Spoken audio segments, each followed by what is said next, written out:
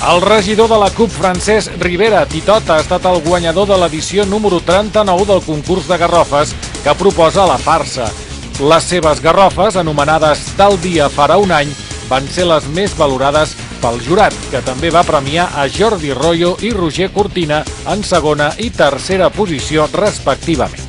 Les treballadores del diari quinzenal Berguedà Actual, que van ser acomiadades per l'empresa Invecom, encara no han cobrat cap dels diners que l'empresa els deu.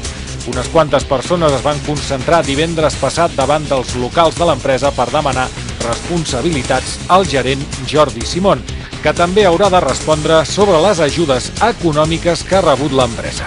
Berga Comercial l'encerta i cada vegada són més les persones que es poden veure davant de les combinacions de colors i formes que proposen els mappings, que es van encendre oficialment el passat divendres. L'èxit fa que fins i tot els comerciants proposin un concurs de fotografia que està dotat amb 150 euros.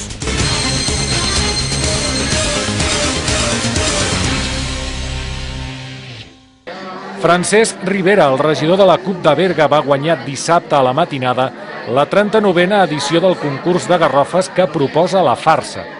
Rivera va presentar un joc de garrofes anomenades Tal dia farà un any i van ser les que més van agradar al jurat que havia de decidir entre els 15 treballs que es van presentar al concurs.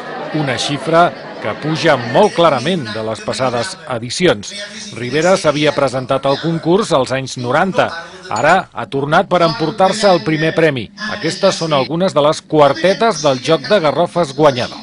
Aquesta crisi italiana i grega ens dona una idea per saber realment qui mana això de la Unió Europea. Sarkozy i Merkel s'entenen, però no són pas aquests dos, que per sobre encara hi tenen banquers i especuladors. Però Artur Mas promet millores. Sap com fer-ho. Té previst aixecar tot el país amb només unes tisores. La manera, ja se sap, fent pagar les medicines. Cada dia al matí al cap s'ho tres aspirines.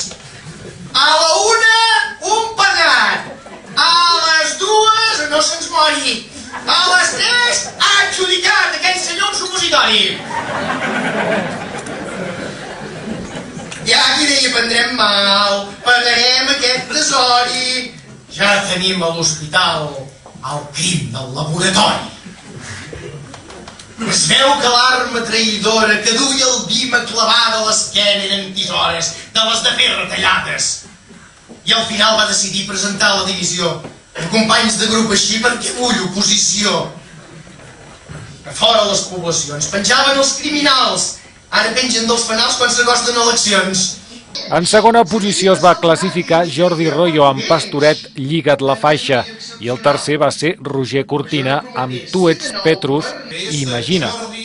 L'accèssit va ser per Jordi Torrabadella. Els temes més recurrents de la nit van ser per les retallades del govern català, la crisi econòmica en general i també temes estrella com la fornícula de Sant Pere de Madrona, que van donar molt joc. L'agrupació teatral La Farsa valora molt positivament l'augment de la participació al concurs, després d'uns anys on es presentaven 5, 6 o 7 treballs. Enguany s'ha arribat als 15. La farsa agraeix a tots els garrofaires la seva participació que ha obligat a fer una selecció prèvia i durant el sopar només es van llegir els sis millors treballs.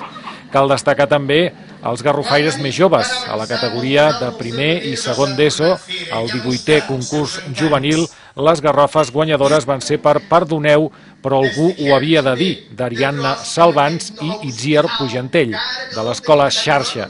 I la categoria de primària es va premiar a les garrofes retallades de Sílvia Casas de l'escola de Sant Joan de Berga. L'acte es va celebrar al restaurant La Cabana i abans d'iniciar-se, tot just després del sopar, van sortir a l'escenari dos pallangues molt especials, que es van queixar del tracte discriminatori envers ells i van proposar un canvi de nom pel sopar. Berguedans! Berguedanes! Juli Gendrau i, i senyora. Uh, Montserrat Minoves. I cultura. Senyors. Senyoretes. Garrofaires. I, I tota la gent que ha vingut aquí perquè no sabia un mes anar. Estem molt emprenyats i indignats. Molt! Aviam, per què carai que estem avui celebrant el sopar de les garrofes i no, per exemple, el sopar de les pallangues? Eh? Que potser els pallangues no són tan guapos i ben plantats. Eh? Aviam, dones d'aquest sopar. Dones d'aquest sopar. Els homes li interessa.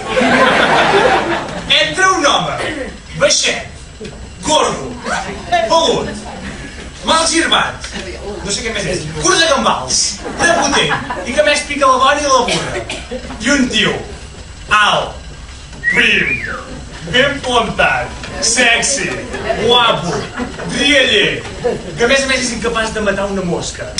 I que sap cantar molt bé, eh? El meu Pastorets. El meu Pastorets. A qui triaríeu? Sí o no? El segon, el Pallanca. Respectant la decisió de la farsa, entitat organitzadora de l'acte, Televisió del Berguedà us oferirà l'acte del sopar de les Garrofes enregistrat dissabte després de les festes de Nadal i Cap d'Any, ja que aquestes quartetes seran llegides a les representacions dels pastorets de Berga.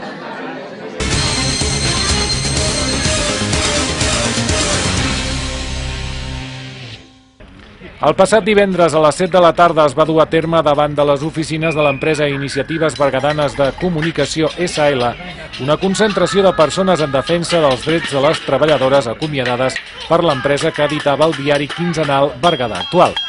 Les treballadores encara no han cobrat els diners que presumptament els toca per haver estat acomiadades de manera presumptament improcedent. Per això van concentrar-se davant del local i dels socis que en aquell moment assistien a una reunió de la Junta General que havia de ratificar o no el gerent Jordi Simón i els altres punts, com vendre els actius, deixar el local de lloguer, llogar un apartat de correus i tancar l'empresa cedint l'activitat a una entitat associativa que també estaria presumptament controlada per Jordi Simón. Segons ha pogut saber aquesta redacció de notícies, tots els punts de l'ordre del dia van aprovar-se. És a dir, Simón continuarà com a gerent de l'empresa, que de moment no desapareixerà. També es va aprovar deixar el local i llogar un apartat de correus, entre altres qüestions aprovades per majoria. Un dels temes que crida l'atenció al sindicat és que l'empresa ha cobrat i ha malgastat un gran volum de diners en subvencions públiques, que segons el sindicat ha tingut al llarg de la seva curta vida. Eh, hem sabut que es feia la darrera junta d'accionistes o de socis del, del Berguedà actual.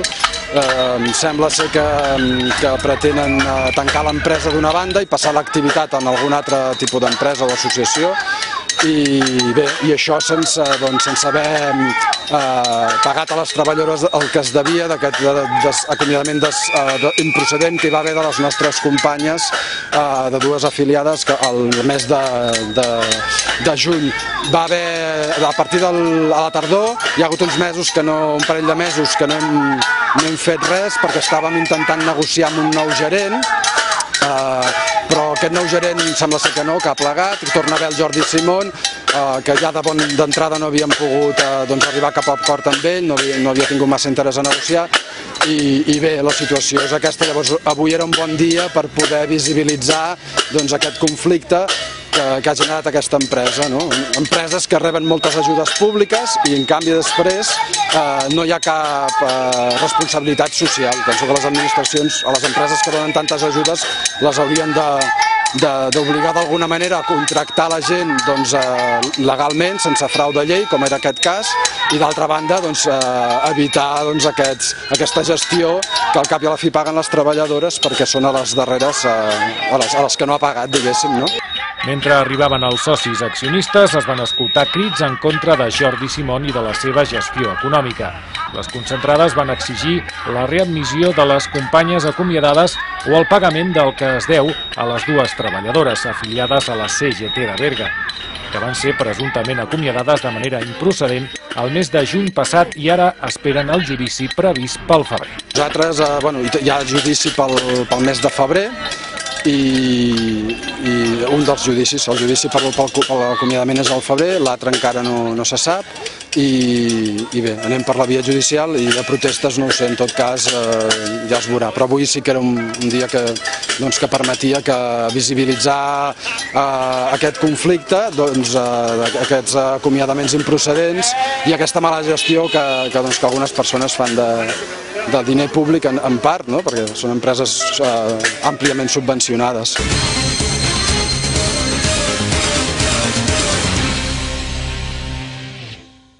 Divendres a la tarda, Berga Comercial va obrir de manera oficial la il·luminació de Nadal que aquest any està proposada en forma de mappings en tres llocs de la ciutat. Les moltes persones que es paren davant d'aquestes propostes ens porten a pensar que l'entitat que agrupa el botiguer de Berga ha encertat amb aquesta solució per les llums que il·luminen la ciutat i que conviden a entrar a comprar a les botigues associades. Les projeccions van canviant de formes. Per aquest motiu, s'ha d'estar una estona davant de cada il·luminació per descobrir com són les diferents combinacions. En el cas de la rotonda, els tècnics de les empreses que han posat els mappings, és la primera vegada que han tingut que treballar amb un motiu tan petit. Per això s'ha tapat i il·luminat per dues bandes.